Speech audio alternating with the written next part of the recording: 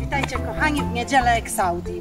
W niedzielę, e, której nazwa pochodzi z psalmu 27, gdzie w siódmym wierszu czytamy Wysłuchaj mnie Panie, gdy wołam. Zmiłuj się nade mną, wysłuchaj mnie. Niedziela Eksaudi znaczy właśnie Wysłuchaj mnie Panie.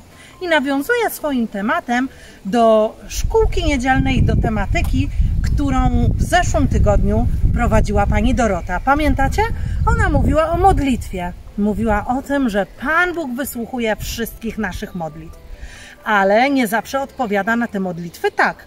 Czasem musimy poczekać, a czasem mówi nie, nie spełnię Twojej prośby, dlatego że to, o co mnie prosisz, nie jest dla Ciebie dobre ale bez względu na to, na to jaką usłyszymy odpowiedź od Pana Boga, możemy być pewni, że Pan Bóg tego, który do Niego przychodzi, nie wyrzuci precz, bo Pan Bóg wysłuchuje każdej naszej modlitwy.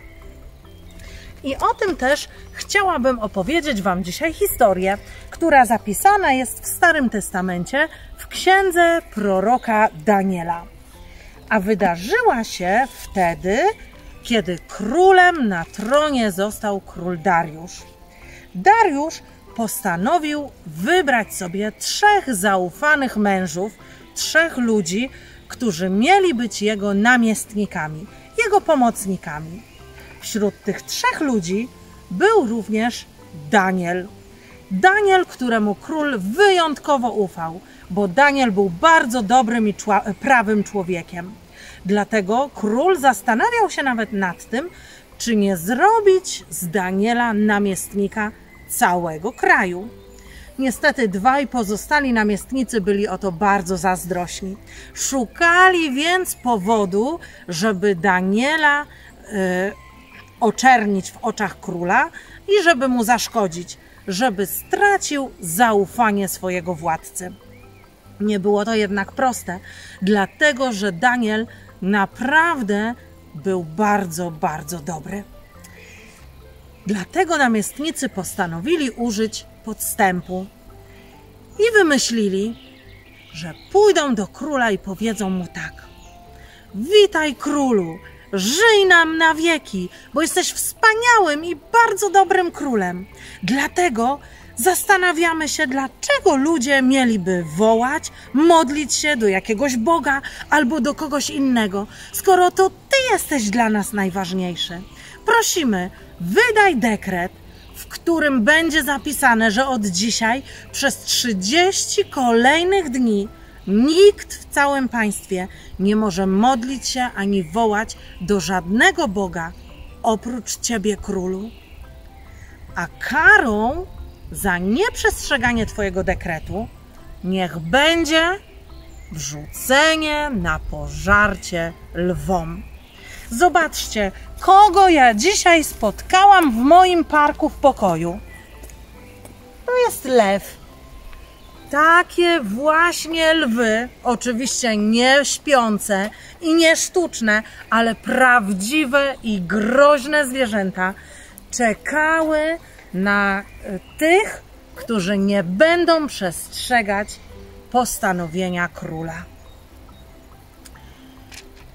Kiedy Daniel usłyszał o tym, że król wydał taki dekret, bardzo się zmartwił.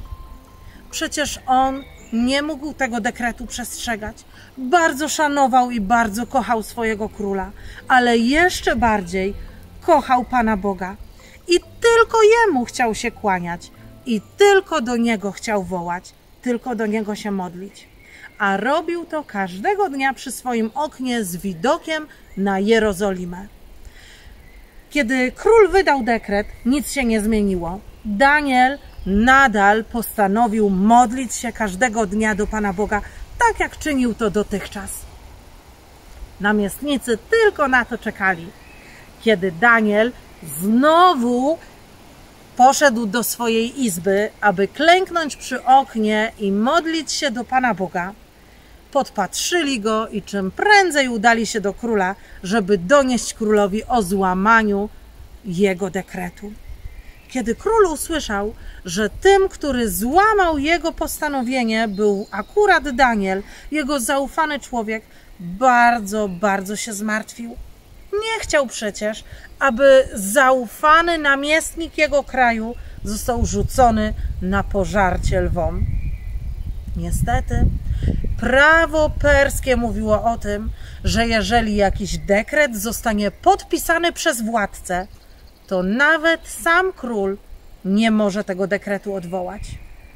Wezwał więc do siebie Daniela i powiedział Danielowi tak: Danielu, bardzo chciałbym cię uratować. Jesteś dla mnie ważny i mam do ciebie wielkie zaufanie, ale nie mogę tego zrobić. Jest jednak ktoś, kto może uratować cię od y, paszczy lwa. Ten ktoś to Twój Bóg. Twój Bóg, do którego każdego dnia się modlisz. Daniel został zaprowadzony przed jaskinię lwów, a potem do tej jaskini wrzucony. Zasunięto za nim wielki kamień, aby nie mógł się stamtąd wydostać. Namiestnicy już zacierali ręce, byli przekonani, że lwy rozszarpią Daniela. Ale Pan Bóg tego, który do niego przychodzi, nie wyrzuci precz. Nie zostawia swoich dzieci, które modlą się do niego każdego dnia. Jak myślicie, czy tym razem też pomógł Danielowi? No, oczywiście, że tak. Król całą noc nie spał, kręcił się i przewracał z boku na bok. Bardzo martwił się, czy Bóg na pewno wysłucha modlitwy Daniela. Kiedy tylko zaczęło świtać, król czym prędzej pobiegł, żeby sprawdzić, co stało się z jego namiestnikiem. Kiedy przybył na miejsce, kazał odwalić wielki głaz i zawołał: Danielu, Danielu! Daniel wyszedł z jaskini, nawet nie draśnięty przez lwy, uśmiechnięty i zadowolony, bo Pan Bóg posłał swojego anioła, który zamknął paszczę lwów i uratował Daniela przed śmiercią.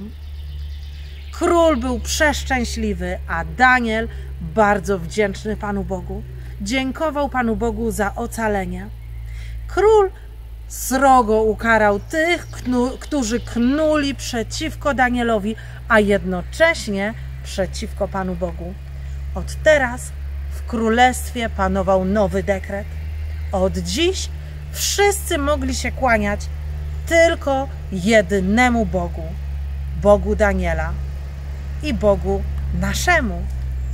Pamiętajcie o tym, że kiedy cokolwiek złego dzieje się w waszym życiu, jeśli macie jakiś problem, jakiś smutek, coś was niepokoi, i wy możecie przyjść do Pana Boga w modlitwie, możecie wołać do Niego tak, jak wołał Daniel, a On wysłucha naszej modlitwy.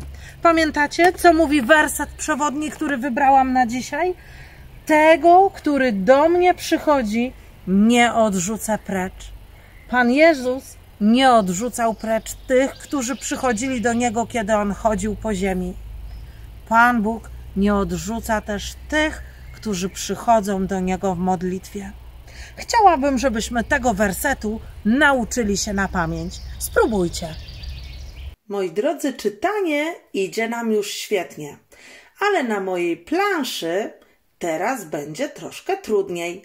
Zabiorę z niej dwa napisy, dwie stópki i zobaczymy, czy teraz uda nam się ten werset przeczytać. Uwaga! Tego, który do mnie przychodzi, nie wyrzucę precz. Udało się? No to wielkie brawa dla Was. Ale ja zabieram trzeci wyraz. Spróbujmy teraz. Trzy, cztery. Tego, który do mnie przychodzi, nie wyrzucę precz. Myślę, że idzie Wam nadal świetnie, więc mogę zabrać kolejne napisy. Zobaczcie, teraz już na mojej planszy zostaną tylko trzy odciski stopy. I zobaczymy, jak poradzicie sobie beze mnie. Uwaga, trzy, cztery i mówicie sami.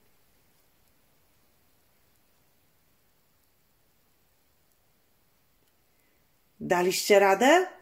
Jeśli nie, to spróbujmy jeszcze wszyscy razem. Tego, który do mnie przychodzi, nie wyrzucę precz. No, ciekawa jestem, czy ktoś z Was jest w stanie cały werset powiedzieć na pamięć.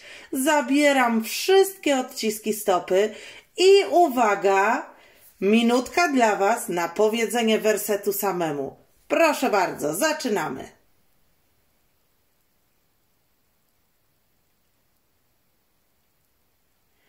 Wielkie brawa dla Was. Wiem, że na pewno świetnie sobie z tym poradziliście. Przeczytajmy jeszcze raz ten werset wspólnie, żeby go dobrze zapamiętać i żeby dobrze zapamiętać to, że tego, kto przychodzi do Pana Boga w modlitwie, Pan Bóg nigdy nie odrzuca, ale zawsze wysłuchuje. Uwaga, jak brzmiał nasz werset? Tego, który do mnie przychodzi, nie wyrzucę precz. Świetnie. Złóżcie teraz swoje ręce. Chcemy Panu Bogu za to podziękować. Kochany i dobry Panie Boże, dziękujemy Ci za to, że Ty zawsze wysłuchujesz naszych modlitw. Dziękujemy Ci za to, że Ty jesteś z nami, że Ty nas prowadzisz drogą, która wiedzie prosto do Ciebie i do Twojego Królestwa. Prosimy Cię o Twoje błogosławieństwo, o dobrą niedzielę, o Two y, Twoją troskę o nas. Prosimy, pozostań z nami w imieniu Pana Jezusa Chrystusa. Amen. Kochani, pamiętacie piosenkę, którą uczyliście się w zeszłym tygodniu z Panią Dorotą? Myślę, że tak. Pan Jezus czeka na nasz głos, On czeka na naszą modlitwę i o tym chcemy teraz zaśpiewać z Gabrysią, z Sonią i z Samuelem. Śpiewajcie z nami.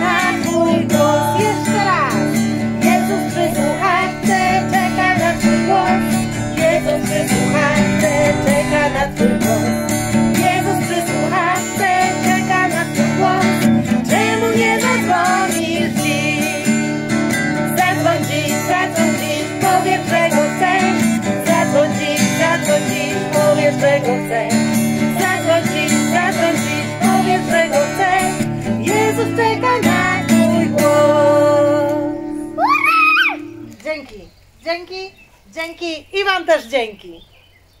Dzieciaki, jeśli podobały Wam się ilustracje, które wykonałam na dzisiejszą szkółkę niedzielną, chwyćcie w swoich domach za kolorową plastelinę i ulepcie podobne postacie, a potem z ich pomocą opowiedzcie historię Daniela swoim najbliższym. Życzę Wam udanej niedzieli, dobrej zabawy i do zobaczenia znowu. Cześć!